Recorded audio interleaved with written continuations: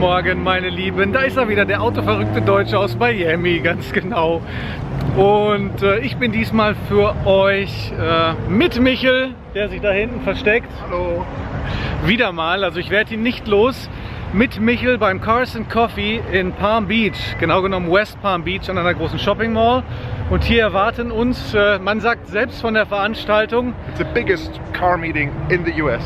Genau, und jetzt auf Deutsch, äh, man sagt, das größte Carsten Coffee in den USA. Ich war vor einiger Zeit schon mal hier, ähm, da war es schon ganz eindrucksvoll und es soll noch größer geworden sein. Also man spricht derzeit von mehreren tausend Autos.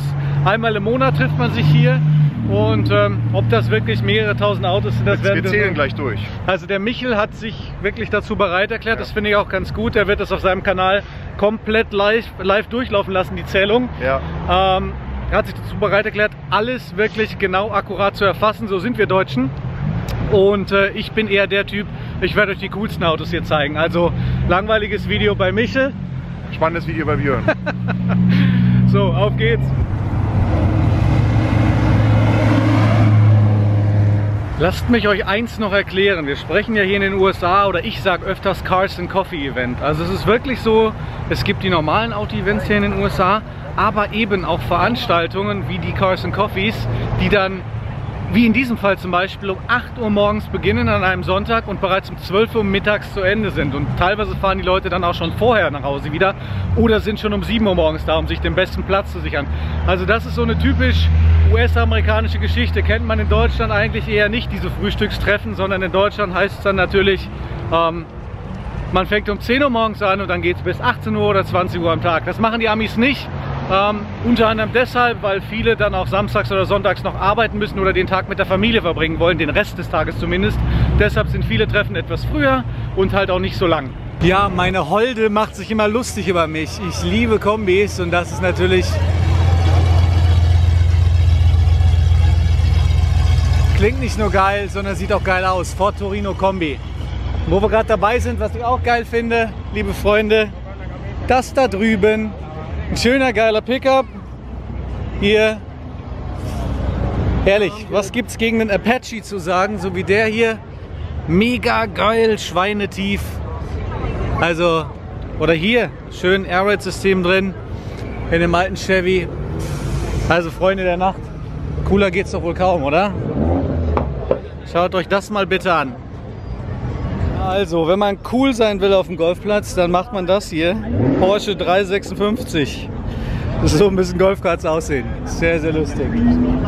Auch davon bin ich ein Freund, muss ich sagen. Ich weiß, es ist schon wieder ein Pickup, aber dieser Style innen drin wirklich sehr, sehr schön. Ich zeige es euch gleich. Und außen dann so ein bisschen, ihr seht ja, abgeschliffen. Und der gesamte Lack so ein bisschen Flugrost dran und das Ganze einfach nur ein bisschen mit Klarlack versiegelt. Also das ist eigentlich ein, eine sehr coole Kombination, finde ich, muss ich sagen. Schaut mal hier, hinten auch auf der Ladefläche alles. Und hier drin dafür dann alles ansprechend und schön mit Telefon. mit Telefon drin zum Beispiel auch.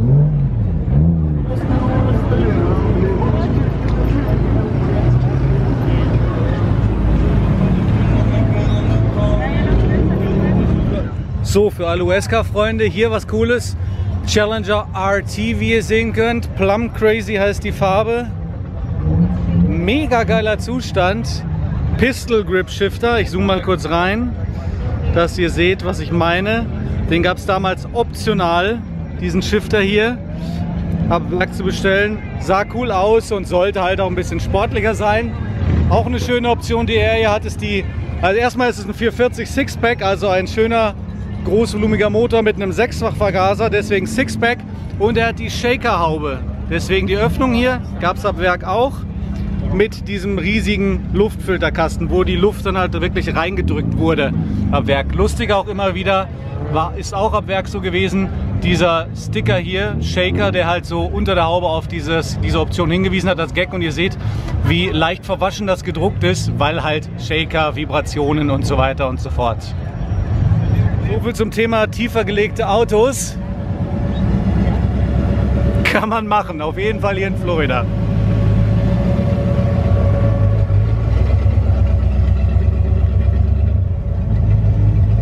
Man das macht, das seht ihr eigentlich ganz gut hier hinten. Er hat dann einfach mal die Achse höher gelegt, die Radausschnitte anders gewählt, den ganzen Rahmen umgearbeitet, wenn ihr mal schaut. Also der ganze Rahmen macht jetzt einen Bogen und nur deshalb hat er den auch so tiefer legen können. Weiter geht's mit ein paar schönen amerikanischen Klassikern. 86er Pontiac Firebird Trans M. Hier dann Cadillac aus meinem Geburtsjahr 1976. Auch ein Coupé, wie ihr seht. Und daneben ein, äh, was ist es, Chrysler müsste es sein. Ja genau, ein Chrysler Royal, Modelljahr 39.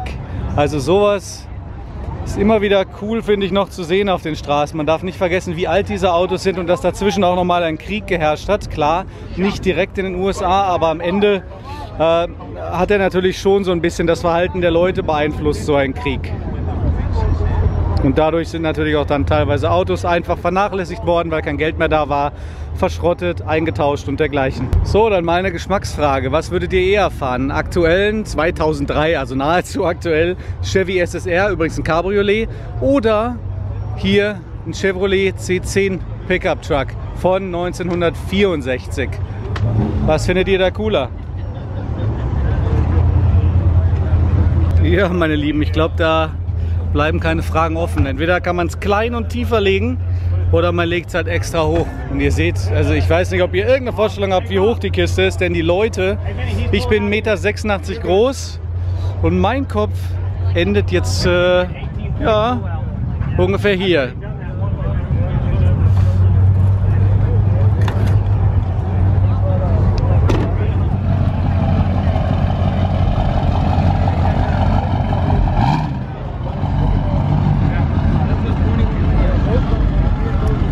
Und da rennt sie einem wieder über den Weg. Da ist er, der Michel. Und die Yvonne. Ja, da ist er. Highlight schon entdeckt hier in den ersten 10 Minuten? Äh, zu viele Highlights. Ich bin ja ein großer Freund, sage ich ja immer, oder habe ich dir ja schon gesagt, von diesen ganzen alten Pickups, die hier rumfahren. Also, ja. Oder auch der Challenger, der vorne ist, der Plum Crazy, dieser lilane. Ja. Der hat sehr, sehr viele coole Optionen. Zeige ich dir gerne später nochmal, wenn du möchtest. Ansonsten entdeckst du den selbst. Rechte Seite, lilanes okay. Auto, 1970er Modelljahr. Okay. Ja, in dem Fall ist es gut, dass die Herrschaft hier in Florida leben und nicht in Deutschland. Denn in Deutschland hätte sich der TÜV wahrscheinlich totgelacht, wenn du damit so vorgefahren wärst. Ähm, abgesehen von der Größe der Felgen, die vielleicht noch nicht mal das Problem sind, ist es so mit den Abdeckungen, mit dem Radkasten ähm, und dem abgedeckten Profil so eine kleine Sache. Aber hier sieht es auf jeden Fall cool aus und es interessiert nicht wirklich jemanden. Also das Coole an der Veranstaltung hier ist definitiv die Unterschiede, die es hier so gibt. Äh, schaut euch hier an, ein Honda, cool gepimpt. Dahinter dann mal eben ein Gallardo Performante. Wieder was Japanisches. Lexus quer durch den Garten. Hier dann auf einmal ein cooler alter Diablo, der einfach mal so casually hier parkt. Da rechts dann Magnum und sein Ferrari 84er Modelljahr 308 GTS. Honda NSX, wie ihr sehen könnt, Ferrari 488 daneben. Sehr, sehr geiles Ding. GT2 RS Porsche, Modelljahr 2018. Bin ich ja schon gefahren auf meinem Kanal, damals noch in englischer Sprache gemacht, das Video. Ich werde es euch trotzdem einblenden, denn äh, wenn es euch interessiert, lohnt es sich auf jeden Fall da mal zu schauen. Ansonsten schwenk hier rüber, wie ihr seht, alles quer durch den Garten hier, ganz verrücktes Zeug. Huracan 600 LT, Aston Martin. Ja, was soll ich groß sagen? Teilweise fehlen mir dann doch immer noch die Worte, was hier wirklich so abgeht an, an, äh, ja, an Autos, die hier immer wieder aufschlagen. Und wir dürfen nicht vergessen, dass hier ist einmal im Monat und von 8 Uhr morgens bis 12 Uhr mittags. Also noch nicht mal so äh, unbedingt extrem, äh, wie sage ich, kundenfreundlich von der Zeit her, sondern wenn du hierbei sein möchtest mit deinem Auto, dann musst du auf jeden Fall früh aufstehen. Hier auch ist, glaube ich, ein Teckard-Umbau, nee, Hamann-Umbau, Hamann Whitebody an einem Cayenne. Also ein deutscher Veredler, wie ihr sehen könnt und wie ihr wisst, Hamann kennt ihr ja.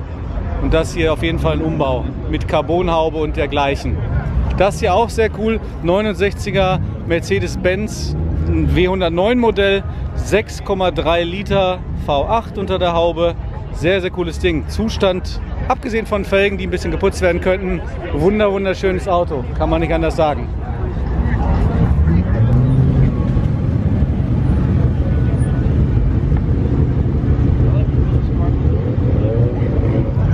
Hier haben wir dann wohl die BMW-Ecke. Auf dem gesamten Platz hier stehen ungefähr, schätze mal, also in diesem Bereich 150, 200 BMWs. Unter anderem hier der M2. Die Farbe finde ich mega geil muss ich sagen. Das ist, hat so ein bisschen was von Valencia Orange. Ich glaube, das ist, ich glaube, das äh, ist es nicht. Bin mir nicht sicher, ehrlich gesagt. Könnt ihr mir gerne sagen. Das ist sogar ein Competition, wie das Schild uns hier sagt. Also sehr schön, kann man nicht anders sagen.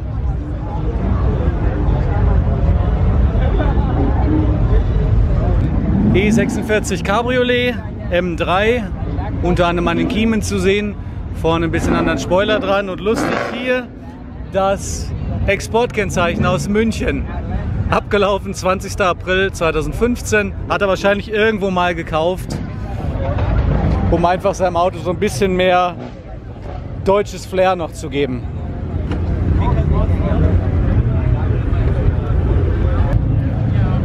Habe ich so auch noch nicht gesehen. Äh, M3, wie ihr seht, mit Airride-System.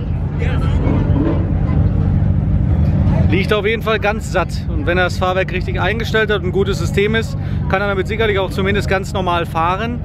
Ähm, wenn er es ein bisschen hochpumpt, logischerweise. Denn äh, gut, mit billigen Systemen sieht es dann immer schlecht aus äh, mit dem Fahren, aber wenn er hier wenigstens ein bisschen Geld investiert hat, man weiß es nicht, man hofft es, dann äh, sieht es nicht nur cool aus beim Parken, sondern er kann damit auch wirklich gemütlich durch die Gegend cruisen, ohne Probleme zu haben.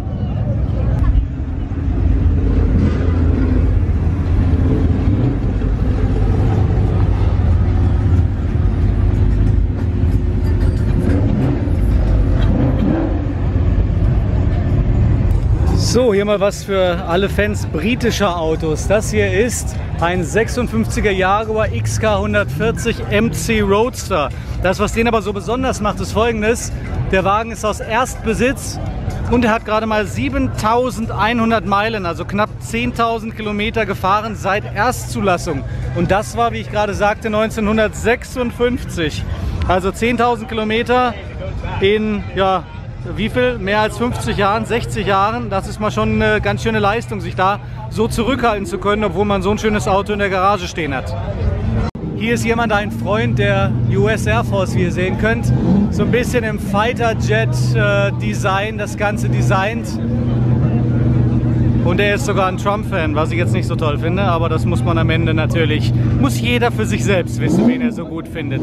Eigentlich müsste er doch, wenn er Trump-Fan ist und die amerikanische Wirtschaft ankurbeln will, ein amerikanisches Auto fahren. Aber gut, das sehe vielleicht nur ich so.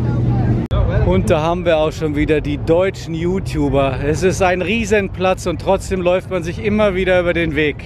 Ja, ist auch ein sehr kleines Treffen einfach, muss man sagen. Ja, das schon. Wobei es äh, jetzt mal eine ordentliche Antwort, es ist ja. etwas kleiner als beim letzten Mal. Also es ist, äh, ich weiß nicht, wie viele Autos es sind, vielleicht 1000 oder sowas, würde ich schon sagen.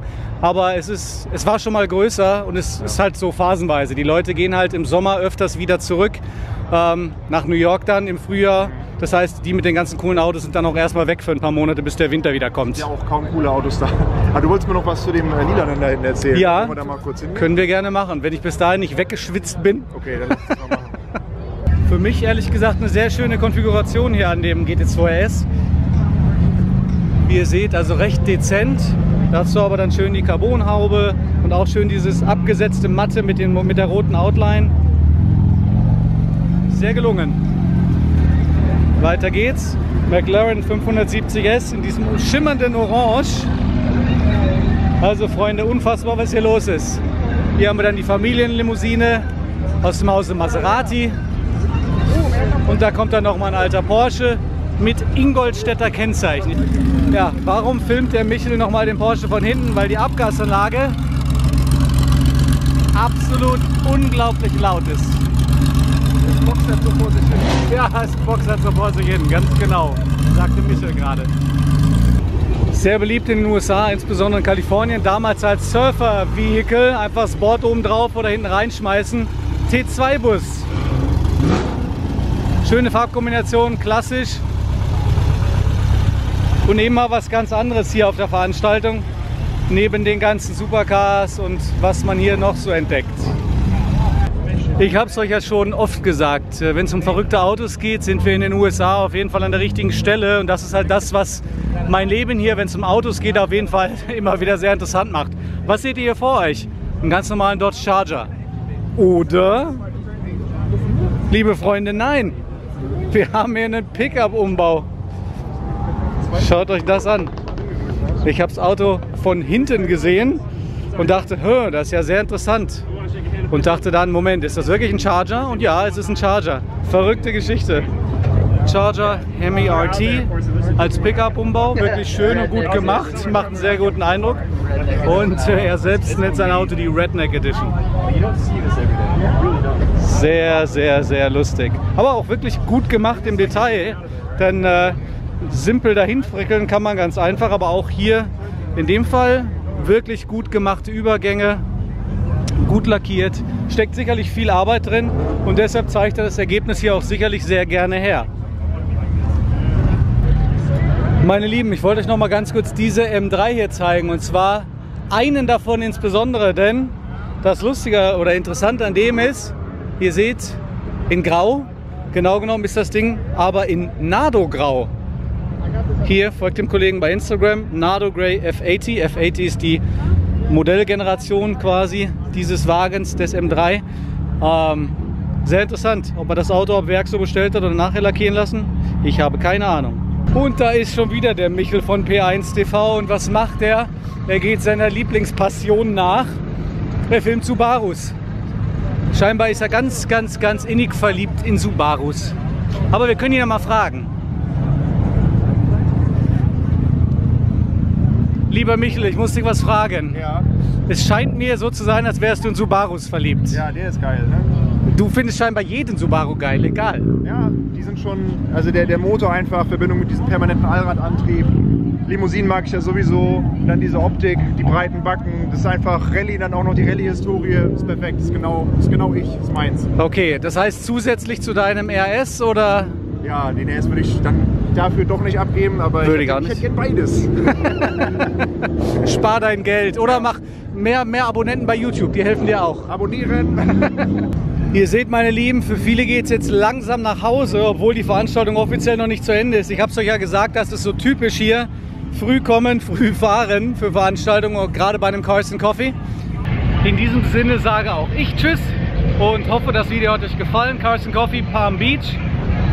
Fette Geschichte, interessante Mischung aus verschiedensten Autos. Ich habe extra versucht, heute euch mal ein paar, Ami, ein paar mehr Amis zu zeigen, denn es gab ja viele von euch, die gesagt haben, na ja, nicht nur deutsche Autos, wenn du schon in den USA lebst. Das habe ich hiermit gemacht. Viele, viele Amis euch gezeigt.